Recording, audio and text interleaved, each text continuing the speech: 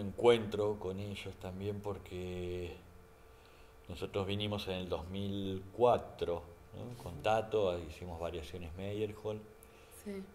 en otro en, otra sala. el otro espacio, sí.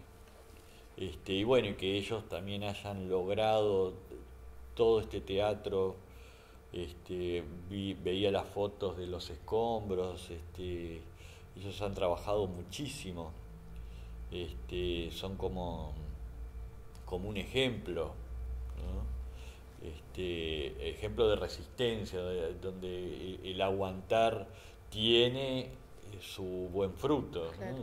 El aguantar y el hacer, ¿no? Las dos cosas combinadas. Sí, va, exactamente, sí, va el hacer, va el hacer deja de aguantar. Claro, claro, claro. Porque si no, si te quedas este, angustiado en el lugar. Claro. Pero sí, el hacer, que es parte también de la filosofía tanto de Norman, que no deja de hacer, como de Tato, que nunca dejó de hacer. Sí.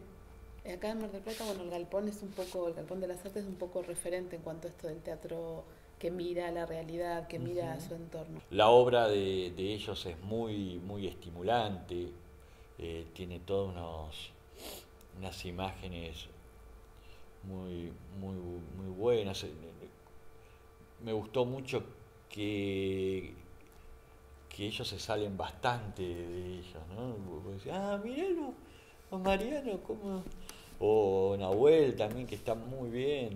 Mm. Claudia, digamos, todo, todo, todo el equipo está muy, está muy bien este, la obra. Con las gradas esas que se mueven. Yo creo que la dinámica, eh, la dinámica es, es muy estimulante. Es, lindo ver teatro así que a uno le dan ganas de seguir viendo, porque no es fácil ver algo que te guste hoy en día, mm. ¿eh? este, que te guste y que te den ganas de recomendar. Claro.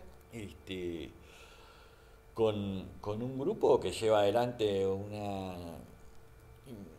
estructura enorme, una estructura enorme con una responsabilidad enorme, este, y que siguen creciendo porque ahora se van de viaje este, a Ecuador. Sí, hay proyectos. Qué bueno.